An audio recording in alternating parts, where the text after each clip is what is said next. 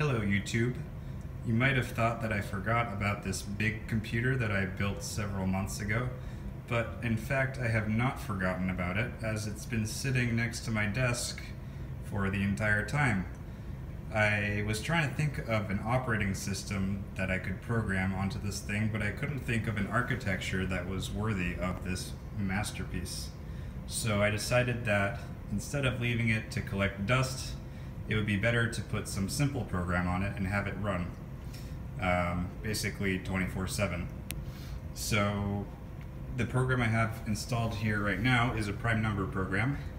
Right now the computer is on, but it's not running. It's connected to this Linux box, and as you can see, it's waiting to receive data from the computer. And we can start up the computer by operating these switches right here.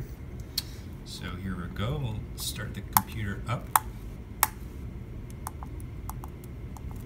And now the computer is running, and you can see that it's printing out prime numbers starting at 3.